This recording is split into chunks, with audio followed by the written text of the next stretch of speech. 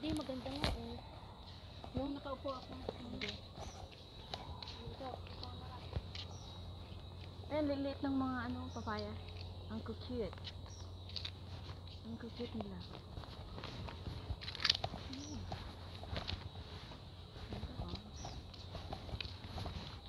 Ang baho.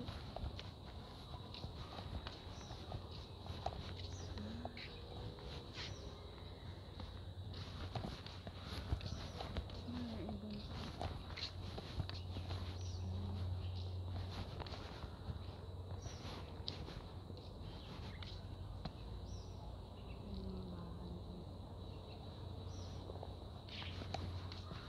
Ang ganda ng pagka ano nila. Nasa taas ng ano.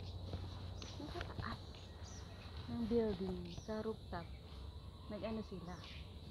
Nagtatanim. Pwede pala.